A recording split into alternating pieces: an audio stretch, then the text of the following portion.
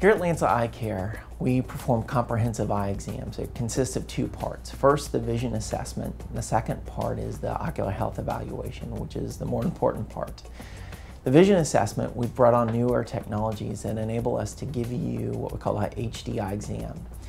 We're able to analyze the vision in a lot more different lighting conditions and also your vision more precisely.